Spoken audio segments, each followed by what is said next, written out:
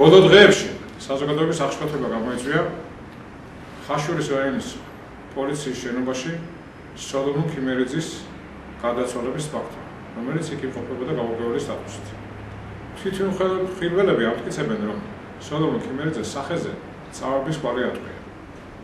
თუმცა შინაგან საქმეთა სამინისტროს ოფიციალური ცნობით სოლომონ ქიმერიძე მესამე სათრობიდან გადმოხდა მიიღო ჯანმრთელობისათვის შეუთავსებელი სიცოცხლისათვის შეუთავსებელი დაზიანებები და იმავე დღეს სამონტაჟში გადაიცვალა. ხაზგასმით მინდა აღვნიშნოთ, რომ ნებისმიერ შემთხვევაში ამ ფაქტზე პასუხისგებელი არის პოლიცია და სახელმწიფო ზოგადად სახელმწიფო. ამასთან დაკავშირებით მინდა წარმოგიდგინოთ ადამიანის უფლებათა ევროპის სასამართლოს პრეცედენტული საქმე.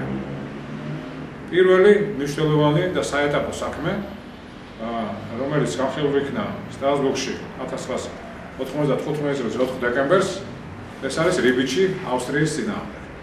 ავსტრიის მოქალაქე რიბიჩი მის მეუღლესთან ერთად ნარკოტიკების უკანონო ბრუნვასთან დაკავშირებით დააპატიმრა ავსტრიის პოლიციამ და სამი დღის განმავლობაში ის დაკითხვაზე იყოფებოდა ავსტრიის პოლიციაში. სამი დღის შემდეგ თავისუფლებაზე გამოსულმა რიბიჩმა განაცხადა, რომ მას ჰქონდა აღნიშნებოდა დაზიანებები მარცხენა წინამხრისა და იდაყვის არეში, რაც პოლიციის მხრიდან ძალადობის შედეგი იყო.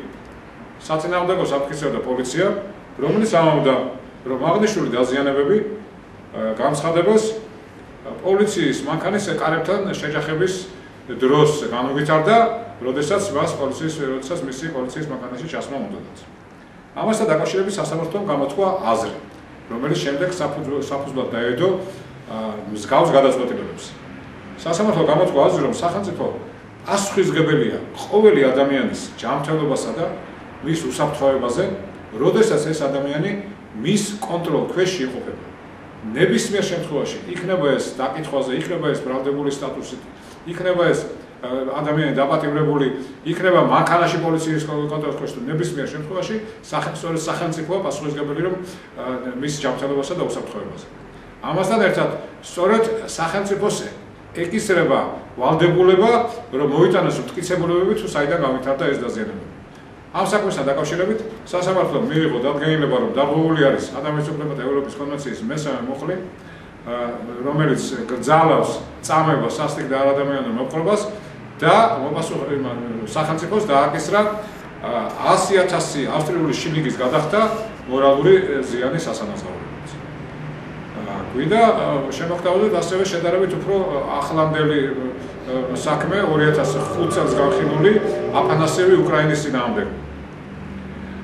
მოსარჩელი უკრაინის მოქალაქეა, იგი თაღლითობას თაღლითობის ბრალდებით დააყავეს კიევის პოლიციაში 3 დღის განმავლობაში ყავდათ და პოლიციიდან გამოსული აფანასევი ამტკიცებდა და უჩვენებდა მოწმეებს, რომ მას გასიებული ქონდა სახის მარცხენა მხარე, გასიებული ქონდა ყური, დაქვეითებული ქონდა ხედელობა მარცხენა თვალში და ამტკიცებდა, რომ ეს პოლიციაში მის მიმართ განხორციელებული ძალადობის შედეგად მოხდა.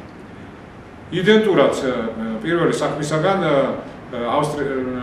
ავსტრია რიბიჩი ავსტრიის წინააღმდეგ ევროპის სასამართლომ დაადგინა, რომ მტკიცებულებები საქმეში არსებული მასალები ის რომ მოწმეებს ნანახი ქონდა თავიანთი ეს დაზიანებები დაზარებული სახებული ქონდა სამედიცინო ცნობა ის რომ ის ნამდვილად იმყოფებოდა სამი დღის განმავლობაში კიევის ერთ-ერთი რაიონის პოლიციის განყოფილებაში საკმარისი მტკიცებულება იმისათვის რომ დაისვას პოლიციის ბრალდებულების საკითხი.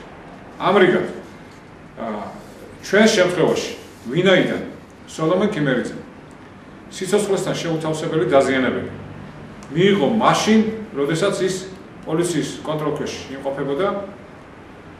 სწორედ სახელმწიფოა პასუხისგებელი ამასთან დაკავშირებით.